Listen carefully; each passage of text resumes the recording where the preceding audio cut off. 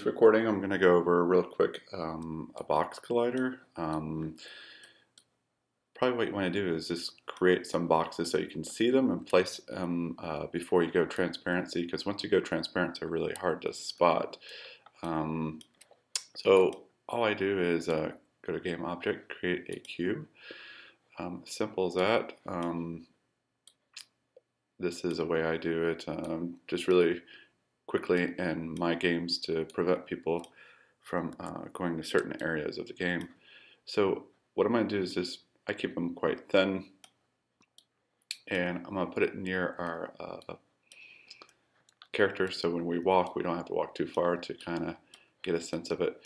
Now if I remember right this is going to go near the end of the boardwalk so uh, you can duplicate these once these are uh, finished but definitely when you're setting it up make sure they're kind of opaque and then play it and then go back. So if we hit uh, play, you can see that it's working right off the bat. All right.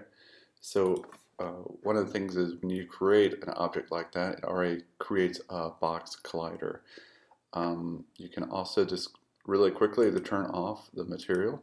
Um, all you have to do is hit uh, this and it'll turn into uh, transparent. So let's hit play again. And we're going to walk up to this wall. And you can see I'm just kind of crawling against it. So it's colliding and we can see right through it. It's a really easy uh, way to create a, a, box collider.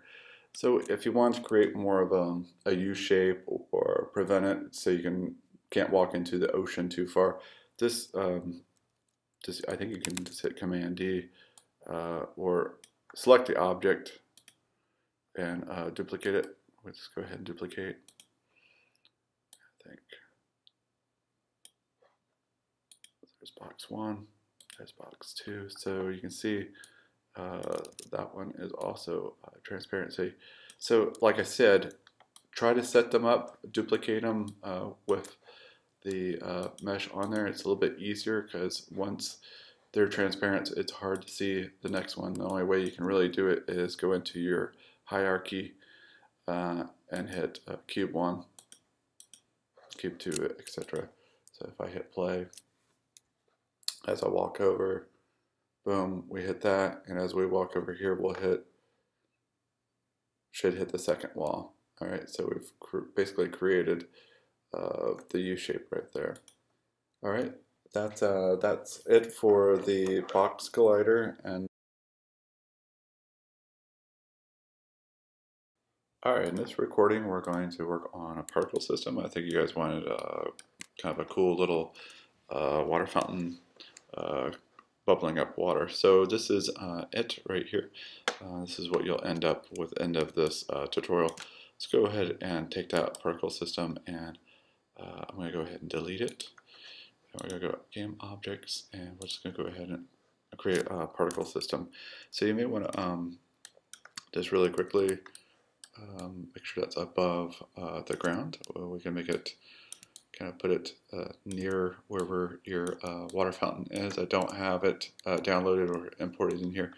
Let's go ahead and start staging the size of it. Um, go ahead and go through the tutorial and learn it, and then you can go back and uh, tweak the numbers to make it the size of your water fountain in your scene. Uh, these are kind of random numbers to get you started.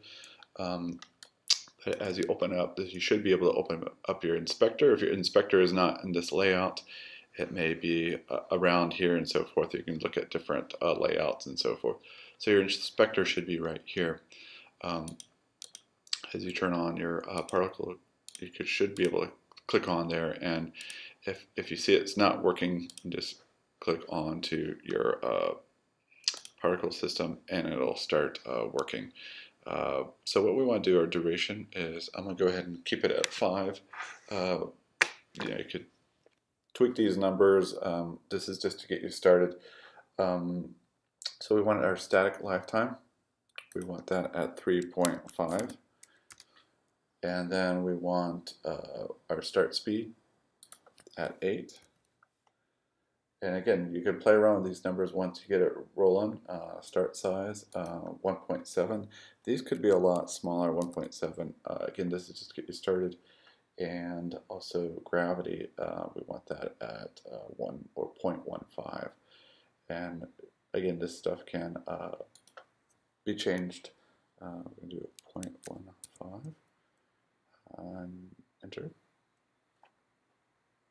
Okay, so just kind of leave everything else on. Uh, you got max particles, all that can uh, stay the same. So what we want to do is go ahead and open up our emission rate. And our emissions we want uh, at 100, not uh, 10. And you can see really quickly we're going to get a lot more particles. Um, this shouldn't slow down your frame rate. Uh, it should be pretty healthy. So we're going to do 100. Um, our shape and our time, burst, and time. Particles, these are all good. So now we're going to open up shape. Uh, we want to keep uh, the cone, don't change that. Uh, we do want our angle to be uh, the same. And radius, I think we want to change that to um, average.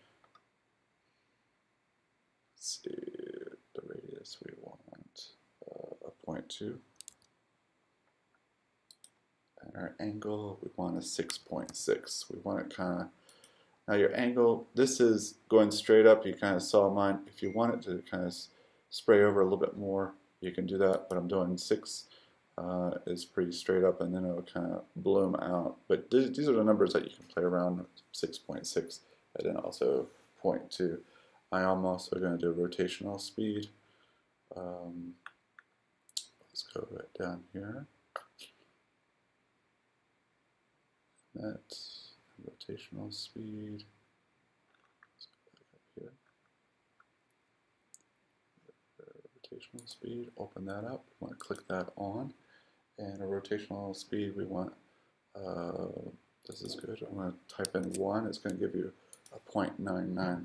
That's fine. All right, and then we want color of a lifetime. So you kind of have to dig around here and look at these color by speed, color of lifetime. Go ahead and click on that. And we're going to go click on here. We want this to end up as an alpha channel. So you want this white and then this go to alpha channel. So as this is going out and it's going to end up its life channel, that it'll turn uh, transparent. Okay, so we're almost done. So just make sure you have your alpha channel uh, set up and then we want to do a force of a lifetime. So again, takes a while to get uh, used to uh, finding these. So force of a lifetime. Let's see. Right here, make sure that's clicked on. And just click on it, open that up. And on our y, y axis is x, y, z. On your, x, on your y axis, make sure that is negative 2. And you can see it'll just kind of go off uh, on a tangent right here. Uh, because it's on a local axis, so we need to make sure this is on a world axis. So bam, right now we have kind of a look of our uh, waterfall. And again, we don't have any material on it. We'll change that in just a second. So I'm going to stop here in our second uh, tutorial, show you how to do materials.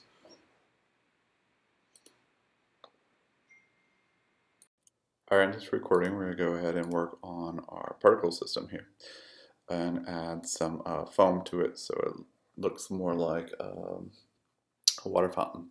All right, so we're going to go to uh, our materials. I'm going to go ahead and right click and uh, in this area and hit create uh, material. All right, so this will give us our default. I'm just going to call it water underscore fountain. Call it whatever you want. Uh, I'll go ahead and select that and set a standard. I'm just going to go ahead and uh, create something uh, different with this. So uh, particles, uh, additive soft, and right here it'll change it to that, and we'll finally we'll drag this onto um, our form here. So we're going to select uh, our texture, and we're going to type in foam right there, and there's our simple foam. Just click on that, and that's what we want on there. So we're just going to drag that onto here and now we'll click on it hopefully we'll get to see it and so there is our uh, final foam so you can kind of see as you get up close um, kind of like these uh, particle systems uh, working uh, as our water fountain.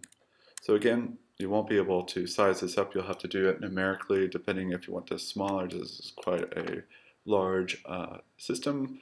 We can see our uh, trees are quite small, so you'll have to go back into your particle system and uh, make these numbers smaller uh, depending on what you want. So hopefully this will get you started on your water fountain, uh, and good luck.